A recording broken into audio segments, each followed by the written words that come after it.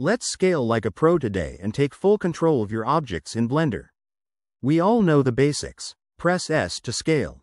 Want to scale along a specific axis? Press X, Y, or Z to exclude an axis. Hold Shift and press the axis you don't want. Here's a cool trick. Use the middle mouse button while scaling. Press S, hold the middle mouse button, and move the mouse. You'll see one axis highlight, release the button, and now you're scaling along that axis. Want to exclude an axis? Hold Shift plus middle mouse button, move around, and notice two axes highlight while one stays unhighlighted. That unhighlighted axis is excluded from scaling. You can also hold Control to invert snapping.